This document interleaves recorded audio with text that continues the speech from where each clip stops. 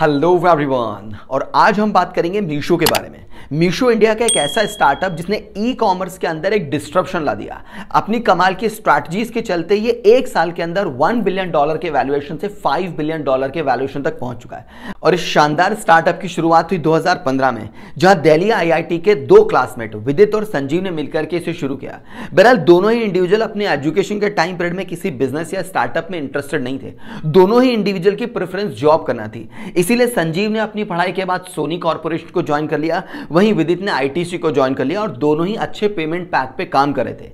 लेकिन काम करते हुए संजीव को समझ में आया कि किस तरह से इंडिया के अंदर स्टार्टअप का कल्चर बिल्डअप होने लगा है, किस तरह से इंडिया के अंदर स्टार्टअप का एक ट्रेंड आने लगा है। इसीलिए उन्होंने अपने क्लासमेट विदित को फ़ोन किया और उन्हें समझाया कि हमें भी अपनी जॉब को छोड़ के किसी स्टार्टअप को ज्वाइन कर लेना चाहिए। लेकिन विदित भी क्योंकि उनके क्लासमेट थे, सेम एजुकेशन थी और दोनों का सेम माइंडसेट था, इसलिए विदित ने उन्हें गाइड किया कि हमें किसी स्टार्टअप को ज्वाइन नहीं करना चाहिए, बल्कि हमें हमारा खुद का एक स्टार्टअप शुरू करना चाहिए। और इस बात पर संजीव और विदित ने मिलकर के अपनी एग्जिस्टिंग अच्छी पेमेंट जॉब को छोड़कर करके एक स्टार्टअप शुरू किया, जिसका नाम इन्होंने रखा फैशनियर फैशनियर एक ऐसा बिज़नेस मॉडल था जो कंज्यूमर को यह फैसिलिटी देता था कि आप अपनी आसपास की दुकान से कोई भी प्रोडक्ट को खरीदेंगे तो फैशनियर की ऐप के थ्रू वो आपके घर तक डिलीवर कर दिया जाएगा।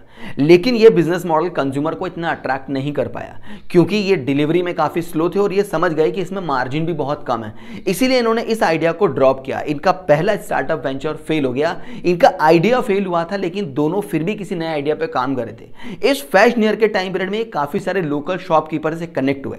और लोकल शॉपकीपर से कनेक्ट होकर के इन्हें एक नया एक्सपीरियंस आया, नए एक्सपीरियंस से नया बिज़नेस मॉडल बनाया और इन्होंने अपने फैशनियर को कन्वर्ट कर दिया मीशो में।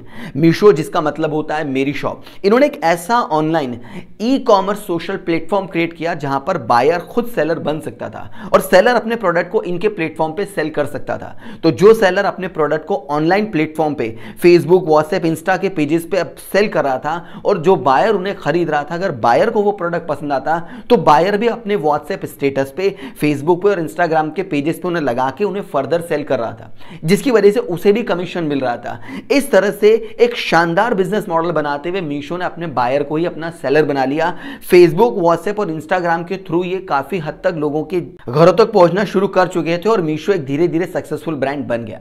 और इनके सक्सेस का आइडिया आप इस बात से लगा सकते हैं कि 2016 के अंदर इन्हें एट्थ फास्टेस्ट ग्रोइंग स्टार्टअप का अवार्ड मिला। 2017 के अंदर इन्हें top fifth social e commerce app का अवार्ड मिला।